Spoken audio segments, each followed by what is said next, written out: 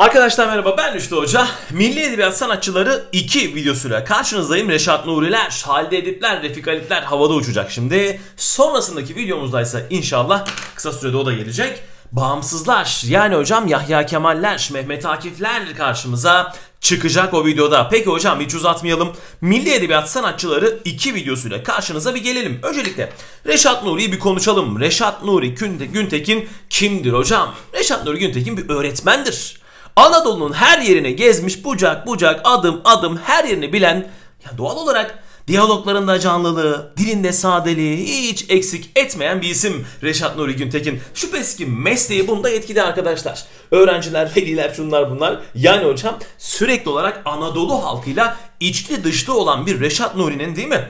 Yani kendi salonunda yazan, tevfikleten değil mi? Kendi salonunda yazan, salon edebiyatı yapan Cenab Şahabettin'den bir farkı olmalı. Milli edebiyatta sanatçılarımız bizden birileri. Diyaloglar oldukça canlı. Bu ne demek hocam? Yani Okurken hocam bir anda diyaloglara dahil olabiliyorsun. Hissediyorsun yani diyalogları resmen. E, adamı öyle bir tanıtıyor ki öyle güzel betimliyor ki konuşmasına diyorsun ki evet bu adam konuşuyor. Yani resmen hissediyorsun onu. Dil oldukça sade zaten milli edebiyat dönemindeyiz.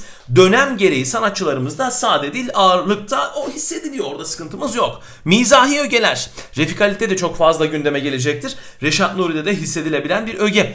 Reşat Nuri Güntekin ahlaki yapıyı çok fazla sorgular eserlerinde. Yani 3-4 eserinden birinde bunu görürsünüz. Yanlış batılılaşma üzerine fazlasıyla durur. Batıl inancı olan kişiler Reşat Nuri'nin eserlerinde esas kahramanlardır. Genelde bu tarz karakterlere yer verir. Gezi, roman, Öykü gibi birçok türde yazmış. Bakın birçok tür ifadesi birçok yazar için kullandığımız bir ifade ama olay Reşat Nuri olunca, konu Reşat Nuri olunca iş biraz daha değişecek. Birazdan göreceğiz. Her türde onlarca eser yazmaya çalışmış. Peki neler yazmış hocam? Gelin isterseniz Reşat Nuri eserleriyle bir görelim. Eserlerine baktığımız zaman romanlar içerisinde Çalı kuşu. Hocam zaten cepte bunu okumadan nereye gidiyorsun sınava? Dikkat! Gizli el, damga, dudaktan kalbe, akşam güneşi, acımak, yeşil gece, değirmen demişim ve 3 noktayı koymuşum. Bunun bir 3 katı daha 5 katı daha eseri var arkadaşlar. Ama kesinlikle bilmeniz gerekenler yaprak dökümü vesaire eklersek bir 3-5 eser diyebiliriz. Öykü dediğimiz zaman Tanrı misafiri Rothschild Bey. Yine 3 noktamızı koyduk. Gezi'de bir tane eseri var ama çok önemli bir eser. Anadolu notları şüphesiz dedim ya mesleki durumunu yansıtan bir eser. Oyun yani tiyatro noktasındaysa Hançer, Tanrı Dağı Ziyafeti gibi eserler yazmış. Yani hocam Reşat Nuri gelirse ya bakarsın böyle bir oyundan, tiyatrodan bizi vurabilirler. Hazır olmakta fayda var. Ama genel özellik noktasında ben milli edebiyat sanatçılarının çok sorulacağını düşünmüyorum. Onu tekrar tekrar vurgulayayım. Genel özellikler çok benzer, çok yakın çünkü. Halide Edip adı var. Kimdir hocam bu? Bu vatandaşımız Sultanahmet mitingini yapan vatandaşımızdır. Yani hitabetiyle, hatipliğiyle ön plana çıkmış bir vatandaş. Toplum ve töre romanları onun olmazsa olmazları arasında. Bu dönemde çok fazla var bu töre romanı, tezli roman, değil mi? Nehir roman, toplum romanı bunlar milli edebiyatın olmazsa olmazları. Çünkü halk edebiyatına, halka dönülüyor. E ister istemez de toplumu yansıtıyorlar. Sanat toplum için olunca e bunlar kaçınılmaz sonuçlar tabii ki. Çok önemli iki maddeyi konuştuk. Unutma Halide Edip'le ilgili sorularda Sultan Ahmet önemli bir anahtar kelimedir arkadaşlar. Tamam cebinizde kalsın lütfen. Anlatım ikinci plandadır. Çok iyi arkadaşlar. Bakın bunu birçok kaynakta, birçok yerde şöyle duyabilir, şöyle okuyabilirsiniz. Halide Edip adı var kusurlu eserler yazar. Kusurludur anlatımı falan gibi daha olumsuz bir şekilde duyabilirsiniz. Biraz daha toparlamaya çalıştım ben. Anlatım ikinci planda dedim. Bunu da böyle aktarmış oldum. Bunu lütfen unutmayın arkadaşlar. Üslubuna çok dikkat eden bir isim değil. Yani hocam çok fazla böyle teknik sorunlar yaşıyor. Teknikle çok alakası yok. Tekniği güçlü demek zor ama içeriği çok sağlam Halide Edip Adıvar'ın. Bu önemli. Romantizmden realizme geçiş görüyoruz Halide Edip Adıvar'da. Özellikle ilk romanlarında romantizmi çok fazla hissedeceğiz. Halide Onbaşı diyorlar kendisine değil mi? Böyle bir lakabı var çünkü cepheden cepheye koşan, cephe gerisini özellikle çok çok iyi yansıtan bir isimden bahsediyoruz. Böyle bir lakap alması da oldukça yerinde, oldukça doğal. Bireysellik ve toplumsallık bu ne demek hocam? Bireysellikten toplumsallığa, romantizmden realizme yani bir geçiş yazarı hissediyoruz değil mi karşımızda? Canlı karakterler var. Evet bunu Reşat Nuri için de diyaloglar canlı diye aktarmıştık. Çok önemli bir bilgidir. Canlı karakterler, güçlü karakterler Halide Edip adı vardı. Özellikle kadın karakterlerin gerçekten böyle çok güçlü bir şekilde karşımıza çıktığını göreceğiz eserlerinde. Peki hocam başka ne konuşabiliriz ki isterseniz?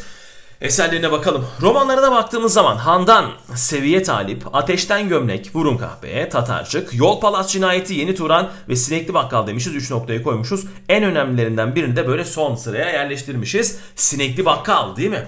Yani böyle Doğu Batı çatışmasının en güzel örneklerinden bir tanesi. Şimdi yanlış batılılaşma ya da Doğu Batı çatışması dediğimiz zaman aklımıza Tanzimat döneminde tabii ki araba sevdası gelecek değil mi? İster istemez bunu gözden kaçırmayacağız. Ama ona çok benzemiyor. Mesela Tanzimat dönemindeki yanlış batılılaşma ya da Batı sıkıntısı, Batı çatışması hocam kendi içinde yaşanan çatışma bugünkü yani milli edebiyat dönemindekine çok benzemiyor.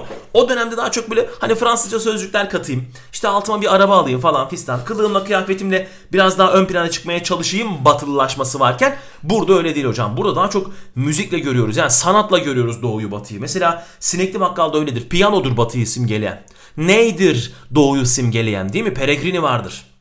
Dedesi vardır değil mi? Sürekli olarak ney çalan. Yani hocam böyle sanatlı biraz daha sanatlı biraz daha güçlü vurgulandığını görüyoruz. Doğu batı çatışmalarının hocam. Tamam bu lütfen cebinizde kalsın küçük bir yorum olsun bakarsınız. Güzel bir yorum sorusu da sorulur. Öykülerine baktığımız zaman Harap Mabetler, Dağa Çıkan Kurt. Tiyatro noktasında Kenan Çobanları, Maske ve Ruh. Anı noktasındaysa Türk'ün Ateşle imtihanı ve Mor Salkımlı Ev Halide Edip Adıvar'ın çok çok önemli ve kesinlikle bilmeniz gereken eserleri. Bizim yazarlarımız çok üretken arkadaşlar. Yani hiç yani yazarlık yapmamış dediğin adam bile en az 50-60 tane eser yazmış. Doğal olarak Halide Edipler, Refik Halitler, Yakup Kadirler yüzlerce demeyelim onlarca diyelim daha hoş olabilir. Onlarca eser yazmış. Bunları tek tek çalışayım hepsini aklına tutayım. Özellikle içerikleri falan tamamen hikayedir arkadaşlar. Bunu geçen senelerde gördünüz. Yani şu ana kadar işte bu 24 sorunun hadi bir 3-4 tanesi gelin güzel bir analiz olsun. Güzel bir 3-4 tanesi Türkçe'ye gitti. Geriye kalan hocam 19-20 tanesi hadi bunun da 7-8 tanesi eser içeriğinden gelse ben diyeceğim ki arkadaşlar Handan'ı bilin, Seviye Talib'i bilin, Ateşten Gömü kesin bilin, Tatarcık nasıl bilmiyorsun falan. Bunları konuşalım değil mi? 7-8 değil bir tane bile eser içeriği neredeyse gelmiyor. Çok nadir eser içeriği soruyorlar. Ayda yılda bir o eser içeriğini de yazarın adından şunundan ya da küçük bir karakterden falan yapıyorsunuz. Kendinizi lütfen parçalamayın. Yani bu sene tutup da 8-10 tane eser içeriği soracak halleri yok. Neden soramazlar hocam? Ya Allah rızası için. Koskoca divan edebiyatı var. Koskoca Cumhuriyet döneminde yazar eserler var. Çılgın yazar eserler var. Latife Tekinler falan Avoduçu, Adalet Ağoğlu falan değil mi? Çok büyük isimler var. Şimdi ne bileyim mesela Servet-i Fünun'da çok yine böyle Tevfik Fikretler, Cenab Şahabettinler, Tanzimat'ı hiç konuşmuyorum zaten. Recaizadeler, Namık Kemaller, Abdülhakamitler, Ahmet Mithatlar yani o kadar isim varken bu adamların çok önemli teknik bilgileri, eserleri, türleri varken tutup da sınavın yarısını yani Handan'ın içeriğiyle, seviye talibin içeriğiyle harcamıyorlar. Çok mantıklı çünkü ancak bu edebiyat bilgilerinizi ölçer. Yani her dönemden, her yazardan böyle ufak ufak ufak ufak katacaklar ki tadı çıksın sınavın. Yani hocam ya tutup da eser içerikleriyle kendinizi parçalamayın. Ha ben eser içeriği videosu atacağım. Hem de fazlasıyla atacağım. Hem de yeter hocam diyeceksiniz artık. Hiç duymadığınız eserlerin dahi içeriklerini atmaya çalışacağım. Yani biz tabii ki hakkını vermeye çalışacağız. Her şeyi anlatacağız. Sınavda neresi sorulursa onu yapacaksınız nihayetinde. Ama tekrar ediyorum lütfen bunun moral bozukluğunu yaşamayın. Öğrenciler bunu çok yaşıyorlar. Mesela hocam güzel saydın gittin de ben bu eserleri hiç bilmiyorum diyor. İçeri hakkında bilgi alalım. Hepsini anlatacağımız video olacak ama kendinizi lütfen eksik hissetmeyin. Yani harap mabetlerin içeriğini bilmen sınav noktasında sana hiçbir şey katmayacak. Hiçbir şey sıfır. Ha günlük hayatta hocam okurum, bilirim, genel kültür eyvallah saygı duyarım. Ama Morse halkının evin içeriğini bilmen sınav noktasında sana, sana zerre fayda sağlamayacağı gibi bütün eserleri çalıştığın için ciddi bir zaman kaybı yaşayacaksın. Biz nokta atış eser yapacağız arkadaşlar. Her eseri bilmene gerek yok tamam. Hiç kafanda soru işareti olmasın. Yani ben böyle gaza gelip anlatıyorum. Hepsini söylüyorum şu şöyledir bu böyledir. Büyük bir heyecanla gidiyoruz. Lütfen bir moral bozukluğu yaşanmasın eserin içeriğini bilmiyorsanız tamam. Refik Halit Karay. Yaslan hocam arkana yaslan. Büyük isim. Kalem dergisinde yazıyor. Nasıl yazıyor hocam? Kirpi lakabıyla yazıyor Kalem dergisi. Yakup Kadri Kadro dergisi. Cepte kalsın bunlar. Realizm, naturalizm akımlarının etkisi Refik Halit'te çok ağır hissedilecek. Bakın dikkat. Normalde milli edebiyatta realizm, naturalizm fazlasıyla hissediliyor. Eğer biz bu akımı bir yazar için özelliğe katıyorsak bilin ki onda daha güçlü hissediliyor. Bazı yazarlara katmayacağız gördünüz görüyorsunuz. Tamam lütfen dikkat. Ve Refik Halit Karay'ın eserlerinde arkadaşlar merak unsurunun yani bu sürükleyiciliğin baştan sona olduğunu söylemekte fayda var. Bu da çok önemli bir ayrıntıdır. Lütfen bu da cebinizde kalsın. Yani biz Reşat Nuri'de söyledik ama asıl söylenmesi gereken nokta refikalittir. Bu mizahi ögelerin fazlasıyla hissedilmesi noktasında. Çünkü mizah türünde eserlerde yazmış. Refikalite saygı duyuyoruz ve hemen geçiyoruz kendisine. Eserlerine baktığımız zamansa roman noktasında Yezid'in Kızı, Sürgün. Mesela Yakup Kadri'nin Bir Sürgün adlı eseri var. Ben bunu Fulleten Edebiyat kitabında çok yaptım arkadaşlar. Yazar eserlerde birbirine yakın eser isimlerini çok kullandım. Çok düşürmeye çalıştım ki öğrenci uyansın bunlara dikkat etsin diye. Burada da yapılabilir sınavda da. Sürgün, Refik Halit Karay, Bir Sürgün, Yakup Kadri, Nilgün, Çete, Bugünün Saraylısı, İstanbul'un ilk yüzü, ilk eseri bu biliyorsunuz. 3 noktayı koymuşuz devamı var. Öykü noktasında gurbet hikayeleri, memleket hikayeleri. Çok bildiğiniz zaten iki eser. Bilmeyen yoktur kesinlikle. Hiciv noktasında dikkat. Kirpi'nin dedikleri Guguklu saat yani buna mizahi hici de diyebiliriz. Tamam aklınızda böyle kalsın. Göndermelerle karşımıza geliyor. Bir avuç saçma, bir içim su, üç nesil, üç hayat gibi günlük türünde de ki bu tür noktasında karışıklıklar var tabii ki biliyorsunuz. Kimisi günlük diyor, kimisi hocam biraz burada kendinden bahsetmiş günlük biyografi sohbet diyor falan. Bazen bu başlıkları açabiliyorlar. Bize zaten günlük hici falan çok lazım değil. Bize lazım olan karakterlerde, sanatçılarda romanı, öyküsü, şiiri, varsa biraz tiyatrosu. Yani böyle ara sohbet, fıkra falan fistanlarla çok kendinizi lütfen parçalamayın. Evet güzel bir zaman dilimindeyiz arkadaşlar. Aralığın sonuna geldik. Yılbaşına doğru geliyoruz. Ne kaldı hocam? Şimdi bağımsızları anlatacağım bir sonraki videoda inşallah. Sonrasında bir milli edebiyat soru çözümü yaparız. Şöyle en az bir, bir iki test çözeriz yine. Sonra Cumhuriyet başlayacak biliyorsunuz.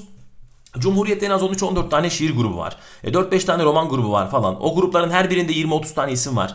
Bazılarında birer bazılarında 50-60-100. Doğal olarak onlarca isim onlarca eser bizi bekliyor. Cumhuriyete geldiğim zaman birer gün arayla yapmayı düşünüyorum. Bazen ard arda attıklarım da olacak. Bazen gün içerisinde 2-3 video attığım da olacak. Cumhuriyet döneminde biraz hızlanacağım o anlamda onu söyleyeyim. Böyle ocağın sonu gibi falan çok ciddi anlamda konuları bitirmeye yaklaşmış olacağız. Normalde benim hedefim Mart gibi falan bitirmekti Türkçe içinde ama güzel çok çok erken bitirdik. Çok da güzel oldu harika oldu. Ki Türkçe'de biraz paragrafımız var sözcük cümle bizi bekliyor ama onu bir iki ay içerisinde toparlayacağız fazlasıyla inşallah. Edebiyat noktasında da arkadaşlar ocağın sonunda baya baya artık ciddi netler yakalıyor olacaksınız. Şubat gibi falan ben tekrarlara başlayacağım. Bir soru cevap tekrar düşünüyorum arkadaşlar bu arada onu söyleyeyim. Yorumlarda da bu noktada görüşlerinizi belirtin. Yani şöyle mesela şimdi Milli Edebiyat'a devam ediyoruz ya Cumhuriyeti falan geçeceğiz. Ben bir yandan da arkadaşlar bir soru cevap tekrar etkinliği başlatmayı düşünüyorum. Şöyle tabi canlı yayın falan değil de böyle soru cevap şeklinde İslamiyet öncesi soru cevap. İşte Tanzimat dönemi soru cevap. Şiir bilgisi soru cevap. Akımlar soru cevap gibi. İşte şu şu şu vardır. Hangi akım? İşte realizm. Şu şu şu özellikler. Klasizm falan gibi. Böyle bir soru cevapla tekrar videoları arkadan gelsin diyorum. Yani şunu yapmayalım. İşte hocam Şubat'ın 15'inde bütün konular bitti. Hadi başlıyoruz tekrara. Bunu zaten yapacağız da bunu bunu beklemeyelim istiyorum. Ardından böyle tekrarlar devam etsin. Mesela biz Cumhuriyet'te atıyorum mavicileri işlerken Tanzimat tekrarı da yapıyor olalım. Yani arkadan bir tekrar serisi gelsin. Soru cevap serisi. Böyle bir planım var. Eğer Yorumlarda bunu destekleyecek şeyler söylerseniz yani sizden evet hocam ya çok iyi olur müthiş fikir gaza getirecek şeyler görürsem e, böyle bir planı devreye sokacağım. Hatta hemen bir iki gün içerisinde şiir bilgisiyle işte ne bileyim edebi akımlarla işte ne bilelim artık duruma göre e, başlamayı düşünüyorum. Şiir türleri vesaire gibi. Soru cevapları böyle sınıflandırıp konu konu sınıflandırıp pratik bir şekilde soru cevap soru cevap böyle cevapları kapatıp açacak şekilde bir proje aklımda var. Yani aslında videoları artıralım. Konular devam ederken bir yandan da tekrarlar devam etsin. Hocam ben tanzimatı bitirdim ama soru kaçırıyorum diyenlere böyle nokta atış şu şu şu eserlerin yazarı şu Namık Kemal şu şu kavramları kullanan kişi Şinasi falan gibi böyle bir nokta atış aklımda var. Bakalım yorumlarda bunu destekleyen ne kadar mesaj göreceğiz. Peki hocam o zaman bir sonraki videoda görüşmek üzere.